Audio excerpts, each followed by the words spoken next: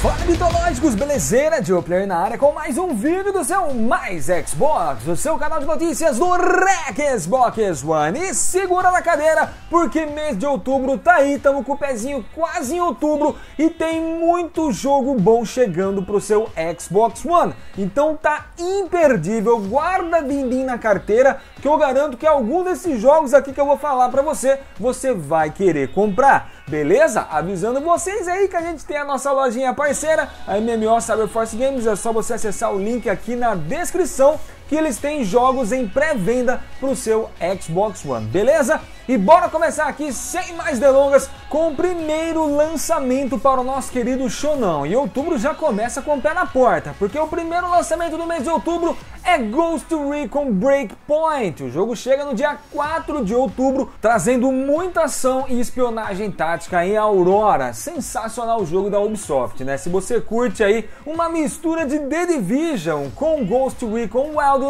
Ghost Recon Breakpoint pode ser o seu game. Não perde tempo, porque esse jogo é um dos grandes lançamentos do mês de outubro. E o próximo jogo é para quem curte caçar fantasma. Então já viu que Ghostbusters The Video Game Remastered chega também no dia 4 de outubro no seu Xbox One. E o nosso próximo jogo retorna aos consoles. Você lembra de Trine, aquele jogo de plataforma que misturava puzzles e aventura? Ele está de volta com Trine 4 The Nightmare Prince. O jogo vai ser lançado no dia 8 de outubro. E para você não ficar na mão, tem também Trine Ultimate Collection, que vai ser lançado também no dia 8 de outubro, que traz aí os jogos anteriores da franquia. Agora, se você curte um Banjo-Kazooie da vida, um Donkey Kong, jogos com estilo aí de plataforma e aventura. Aliás, esse jogo nos bastidores falaram que está bem melhor que o seu primeiro. Afinal, o primeiro, né, a gente aprende com os erros, aí a gente corrige no segundo jogo. E por isso,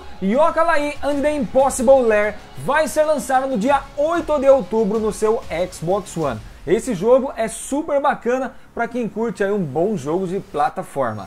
Mais um jogo que chega aí é a Eterno Blade 2, que vai ser lançado no dia 11 de outubro. O jogo é de ação e aventura, um hack and slash, praticamente aí um Bloodstained. Se você está curtindo Bloodstained no seu Xbox Game Pass, provavelmente você curta Eternal Blade 2. Então não perde, dia 11 de outubro tem Eternal Blade 2 para você jogar no seu Shonão. E o próximo jogo é Frostpunk Console Edition. O jogo chega no dia 11 e traz com ele muita estratégia e sobrevivência ao meio da revolução industrial.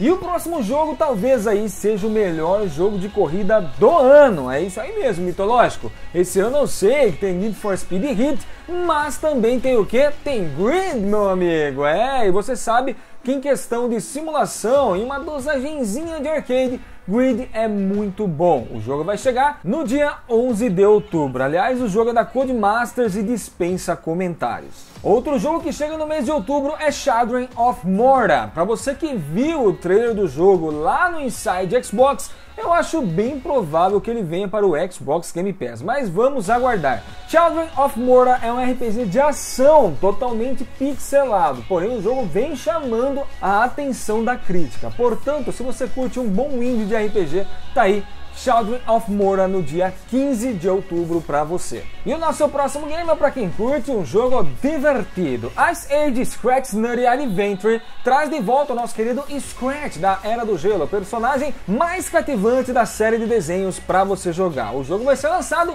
no dia 18 de outubro. E no mês de outubro tem jogo peculiar no seu Xbox One. Aliás, eu estou bem curioso por esse jogo. É Pig Ball, é praticamente um jogo de ação, aventura e comida porque no jogo você vai ter que comer muito mitológico, é isso aí mesmo. E o lance é comer até gorfar. É, não tô brincando não, mitológico. Pig Eat Ball vai estar disponível no seu Xbox One também no dia 18 de outubro. E tome mais jogos no mês de outubro para você, principalmente se você curte jogos de luta livre ou então WWE 2K20 ou então 2K20, seja lá como você chama esse jogo. As melhores estrelas do WWE tá tudo junto e misturado para você quebrar o pau no seu chonão. Ronda Rousey e companhia vão estar disponíveis no seu Xbox One no dia 22 de outubro.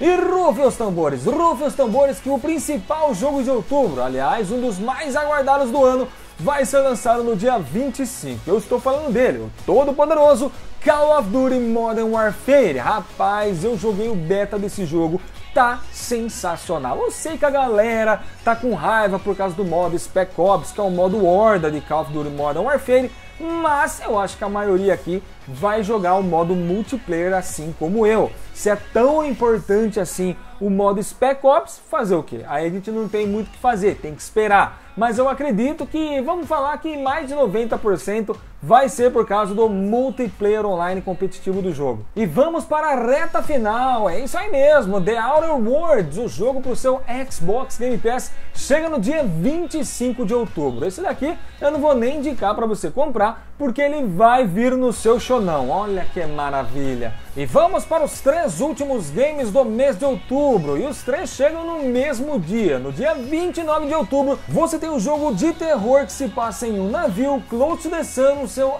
Xbox One.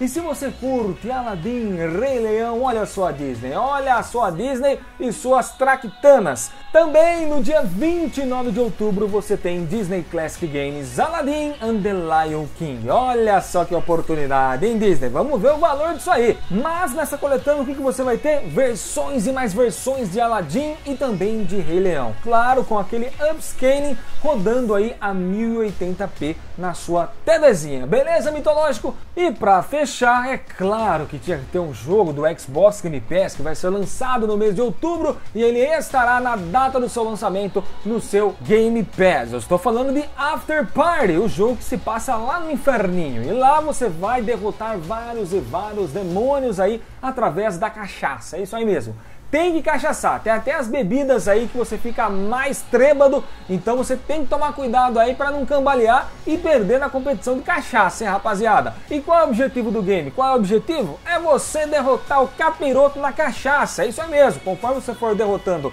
os capirotinhos, o capirotão é quem você tem que derrotar para você voltar para a Terra. Olha que maravilha, hein? Bom, mitológicos, eu vou ficando por aqui. Comenta aqui embaixo qual jogo você está aguardando para o mês de outubro o novo Call of Duty Modern Warfare, ou então Ghost Recon Breakpoint, ou então The Outer Worlds? Comenta aqui embaixo que o seu comentário é sempre bem-vindo aqui no canal. Fique em paz, felicidade sempre, falou!